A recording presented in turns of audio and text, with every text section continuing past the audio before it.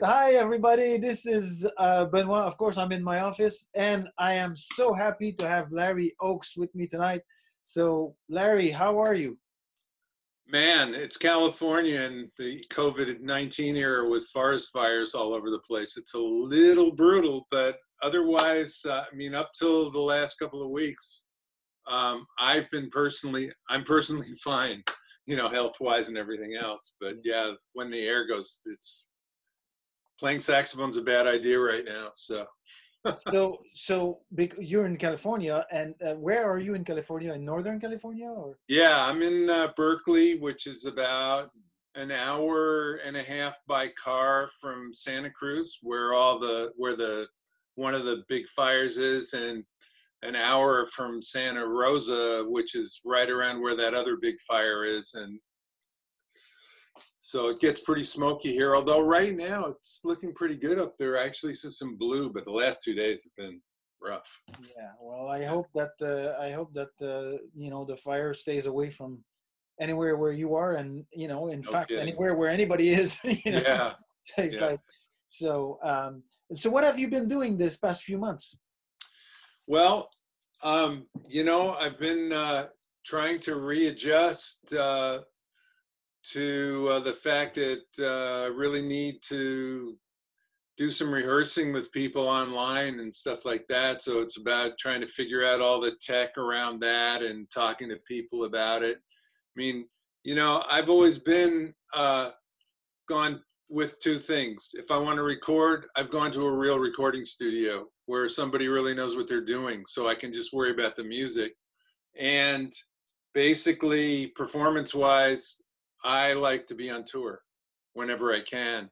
And so all of a sudden, it's like everything's coming to me from here. Although I have to say, recording-wise, and for anything real, I'm still I'm just going to wait. But we did do some. I've done some remote mixing with engineers that turned out really good. We've got a couple of CDs lined up for this, that, and the other thing, you know, and coming out next year. And I've been able to work on that. So I've been working on that, and you know, just trying to figure out uh, moves, moves to make, and talking to people about uh, booking things that have uh, this this 2021 season was going to be pretty busy and now i'll tell you one of the things i'm really doing is uh, reverting to my 1960s pose of being more of a political person than a musical person. Um, i just feel like this time i've got to participate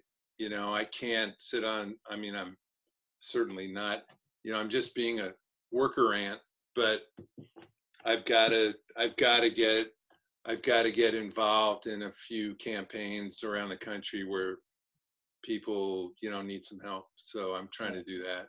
So, as uh, let's if we revert back to like the tech, the tech, uh, you know, I I am starting to explore JackTrip, which Uh-huh. is so that's something you might look into just if you're interested in rehearsing with other people or or playing with other people uh, with along with video as long as you're in within like a 400 mile radius Mhm. you can play without any lag and so and that's pretty cool Well, Uh, let me let me just say to you because I, I know nothing about this, but Raskin from Rova, Jon Raskin, is you know doing a really good research, and I'm kind of following his marching orders basically.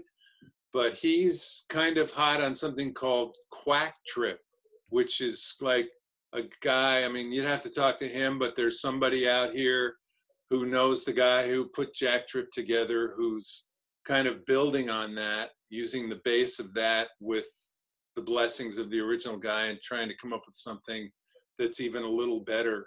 Um, well and- definitely jacktrip like it's the user interface and like the how to use it you have to like three different softwares going on like command Uh-huh. line like you know like real archaic user interface really hard to use so in fact yeah i hope somebody comes up with a similar technology that's easier to use yeah, because like i we have not like this is something we might want to explore as as a as an organization but it's so complicated we could get it to work Yeah. but then you have to explain to musicians how to how, how to make it work and if it's too complicated it's just not practical Uh, Yeah, and in fact, John.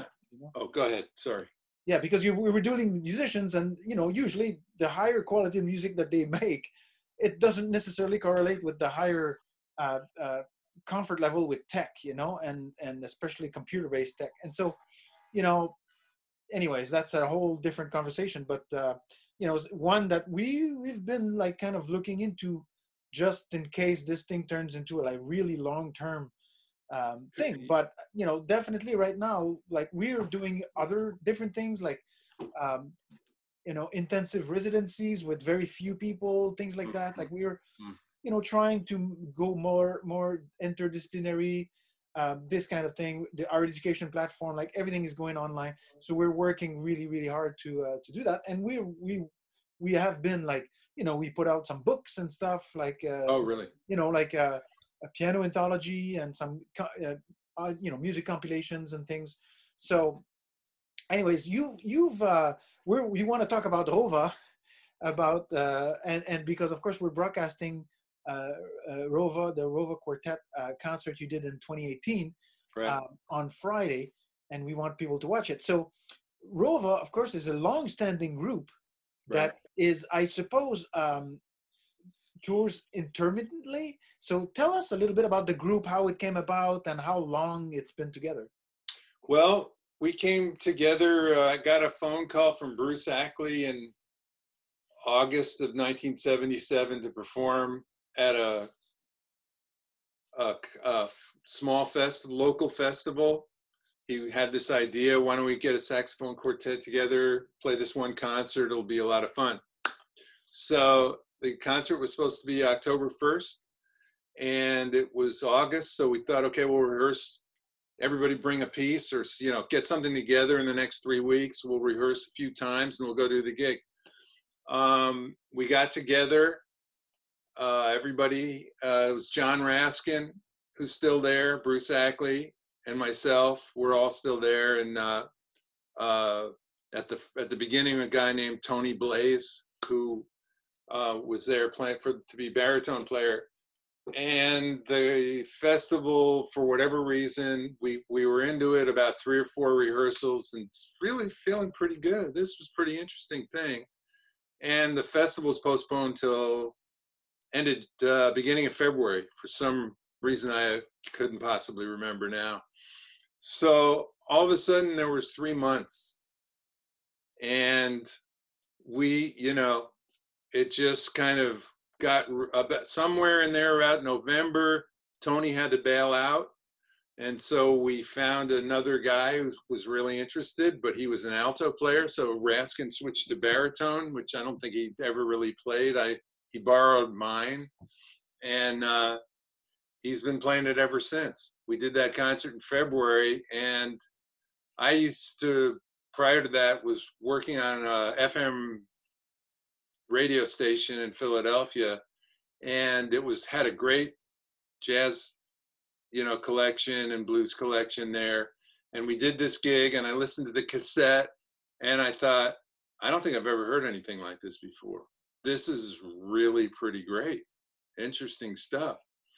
So at that point, that was 1978, February 78, and it was just kind of at the beginning of the independent record stuff with new music distribution service in New York, starting to, I don't even know if they, I think they were up and running, you know, being a distributor for people who were making their own LPs. And I said, why don't we keep doing this for like six months and see where it goes and shoot for like doing a recording? And if maybe it'll be as good as we think it is, we should do that. So we did that and um, that took us till about the end of May, beginning of June, and somewhere in there, uh, Charles Bobo Shaw, who's a drummer in New York, who's actually uh, at that point the uh, boyfriend of my sister, um, told you know I played him a cassette, and he said, "Why don't you give me a copy of that?" Oh no, he just said, "You should send that to this festival in in Germany. They like uh, they like to get new stuff, they might be interested. And so I flipped it in the mail like in April, just a you know cassette.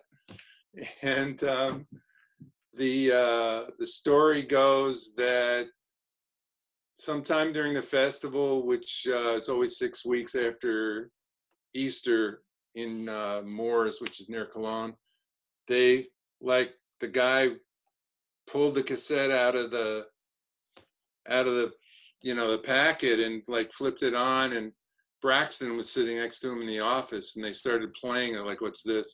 And Braxton said whoa you've got to bring these guys to this festival. You know he was you know Braxton's so effervescently uh, um, positive and everything and the guy wrote me a letter later that summer and just said you know we'd like to have you next year and at that point we had some other reason to stick together for another year. And at that point, we thought, okay, maybe we should put this record out. And so we've been here ever since. Um, I got to admit that it started out really fast. It felt like, and you know, when we got to that festival, we were going from playing for 30 people to playing for 5,000, and it went really well. And the you know, the promoter came up to me and said, "We're going to bring you back next year and put a tour together for you," which because they were doing touring at that point too. And I stood there and I thought, "Man, this jazz thing, what? Why is it so hard for these guys to like make a living doing this? In another couple of years, we're going to be like, you know, it's going to be so easy." and man, it was like the worst hubris, most hubristic thought of all time. You know, I've been paying for it ever since. so yeah, we we tour intermittently. We tour two or three times a year, and um, it's never. There have been really good years, but it's never been you know not nothing like being a rock band. But everybody's committed to it, and uh, a lot of great music. That's all I can say. It's a very interesting group. Now, talk to me a little bit because you've played all over the world with that group and with other groups. Um, mm-hmm. Tell me a little bit about the experience at Timucua in particular. Like, so it's a small space with a smaller crowd. How does that compare? You know, like how does it change the way you play, the acoustics, the, all of that stuff? Like, of course, you're playing like you know, it's not like a, a, a jazz quartet with the drums and everything uh, right. amplified and stuff. So you can play like uh, festivals outside on rooftops. Like I've seen things in Montreal with the World Saxophone Quartet, all these like right. weird things that you can do with that kind of group that you cannot necessarily do with other kinds of group. Right. Um, so tell me a little bit about your experience at Timucua. Well, I mean, Timucua is like, you know, we're completely dependent on the acoustics of a room. I mean, we've played in every kind of performance space from jazz clubs to you know cafeterias at schools to a place like yours which is just like walking into for a saxophone player it's like walking into heaven you know it's just sounds so great and we can do anything we we anything we have in our repertoire we can play there. Um, so we can really you know uh, choose and not and know that the the room's supporting us. And really for us i mean musically speaking Timucua is really you know the ideal space and including size wise i mean maybe it could be you know i mean up to 200 people we're really good. We don't need to worry about anything in a room like that.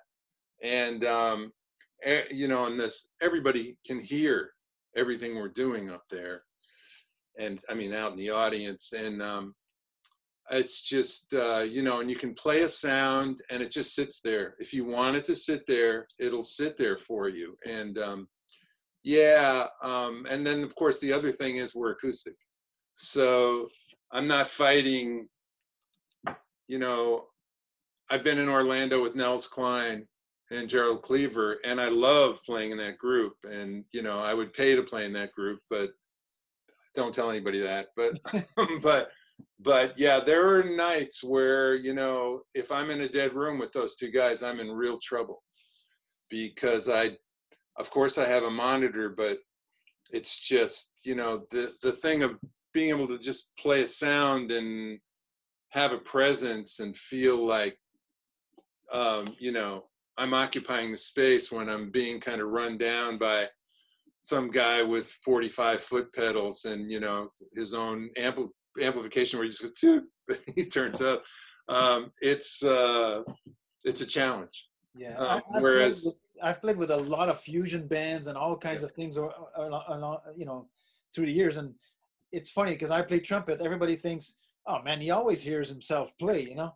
But my bell is like two feet from my face, and it's pointing that way. if- exactly If I don't feel an impact of what I'm doing, then what am I doing there? Like I just strain, you know, and I'm forcing th- things. And I, you know, I I spend hours a day practice. Even now, I practice every day to try and get a good sound and whatever sound I want to get. Yeah, And yeah. then I don't know if I'm getting that. Like so, my mind starts like. It's like how am I supposed to make music? You know, it's like so. Yeah. That's why I designed this place the way it is, just because. I mean, we couldn't make it any bigger in that on that land you know that we have that's why it's the, the size it is but there is so it, it could have it could have been a longer kind of like you know decay or reverb you know whatever Mm. but at least every single thing you do you feel like you're having an impact and your Yes. contribution is important just like in life you know Yeah. Like, your, your contribution is important and it's valued because of the audience that's there but it's like and then you can also hear everyone else's contribution equally to yours without any um, amplification if there are not if there's not and if there is still the same thing like it's just Yeah. the way i set it up so because i've fought for this for you know 40 years now i've been fighting for for for that. So i i wasn't gonna you know design a place that doesn't allow for that. Like you know what i mean? Like so this is where that's where it came from. And i'm happy that you appreciate it of course because everything i have and i had and i will ever had went into this place. And so yeah yeah. you know i want this to work. Like i want this to work no. to as many people as possible. So that place really works. I mean, as far as I, I can't imagine that there's a musician anywhere who wouldn't really love playing there. So, and you know, so um, now tell me a little bit about um, what your plans are for the future. I mean, I, I know it's hard to do right now, but um, but you you know you probably have a plan A and a plan B right now as far as 2021 and and maybe beyond. yeah, I mean, you know, I'm actually taught. I had a tour that was pretty well set up for this September with uh, a band, a trio with uh, Mark Dresser on bass and a, drummer from from uh, Vilnius in Lithuania named Vladimir Tarasov, who's pretty well known over in Europe. And we were going to go in September over there. And in I don't know April, I knew it was not going to happen. Or in any case, I knew I didn't want to work on it anymore because it sure didn't look like it was going to. And so we, I thought about, well, by April of 2021, there's a possibility. And there was a festival in April that wanted the trio anyway, and I didn't think we could go, but but now if I just postponed the whole thing. So I'm sort of working on that. I mean, you know, Trump's not going to be out of office till January. That doesn't give them a lot of time to get it, get the United States to a place where Europe's going to want to let us back in.